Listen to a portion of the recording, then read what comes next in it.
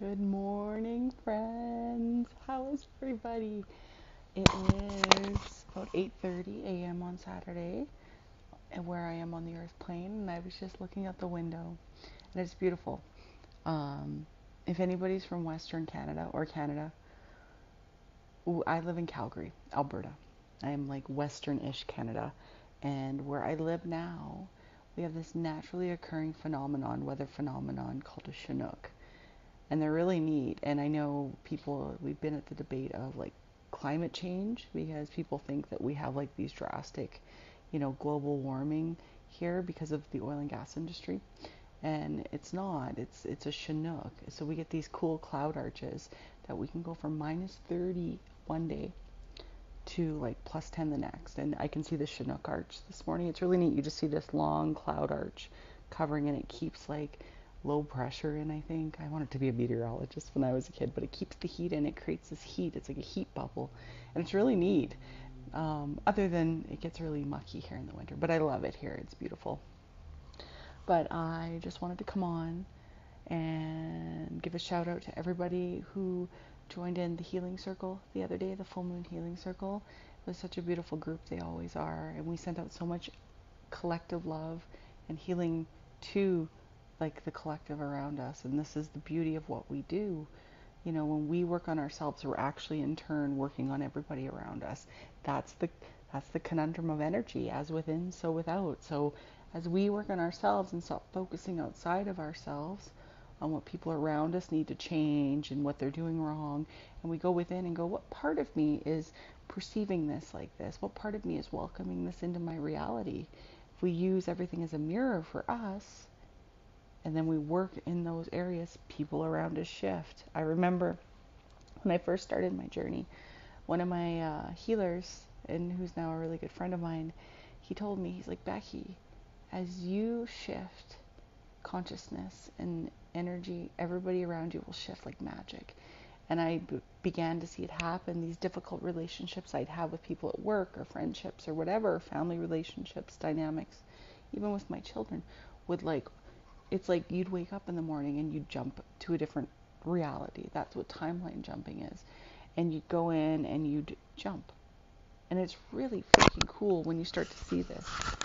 And the more we dig into that and realize that we're not the victims of our reality and our circumstances, but we can empower ourselves through them.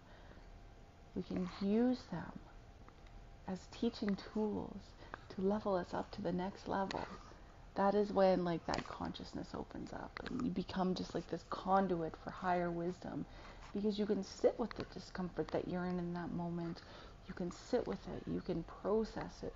You can understand it for what it is and you can take your preconceived perceptions out of it out of the picture. And it's really neat. It's really neat. Um, yeah. So that being said I had a really good idea the other day. I haven't done an activation for a while, a group activation, so I'm going to create one this weekend to run on the 21st because the 21st is such a powerful day as we know it's the change in season. It's it's the first day of winter in the northern hemisphere and I want to do a 1221 activation. And for this, I'm going to have a special investment for it. It's going to be $21 and 12 cents or 21 21 21 21 for the date. So it's going to be beautiful. I may even have an early bird price on it um, for those of you who want to get in. And just so you know, with these activations, I have so many that come to my groups, my Zoom sessions, they register but they can't be there. But i always record them. And the energy from the recording is just as powerful. You can watch it over and over again. I just want you to know that if you're watching this video you are catapulting right now. You're expanding so rapidly. You are in the midst of this beautiful shift in your perception and your consciousness on your ascension journey. And these activations that I host are all for the ascension. They're all for your opening up to the higher realms. And they're so cool. So if you enjoy light language, if you enjoy just balancing your energy if you enjoy, you know, anything in that realm, connecting with other beautiful souls and sharing, come join us. It's I love them. I love them. I love them and I love you. And this message today is meant to reach you and open up that crown chakra to allow the energy to flow in. I haven't done a coffee chat in a couple of weeks. Yeah, I'm starting some kitchen, some main floor renovations on my house right away. So you may see some chaos. Maybe I'll document it, document the before and after. It's going to be lots of fun. I love projects. Um, but I'm wishing everybody the most beautiful day. I love you. We're coming into this beautiful holiday season. I love December. I'm going to make a post today to share our holiday decorations because I'm going to put my tree up today. And whatever you celebrate, whatever your belief system is, share it. This is such a beautiful group, like both of the communities that I have on here for everything.